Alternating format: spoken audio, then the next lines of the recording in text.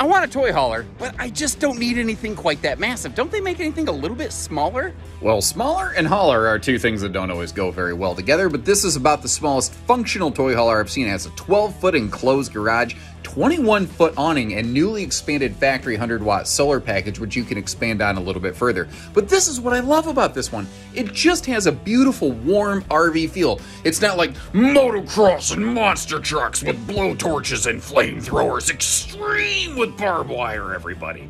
You got a theater seat across from an entertainment center, you got a big king bed. 30,000 BTU standard air system, and look at that big XL vent fan right there. It's also about a six and a half foot upper deck, which is nice. But the flexibility of these you need bunks, you need maximum loading space, you need a place to chill on a three seasons afternoon, you got it.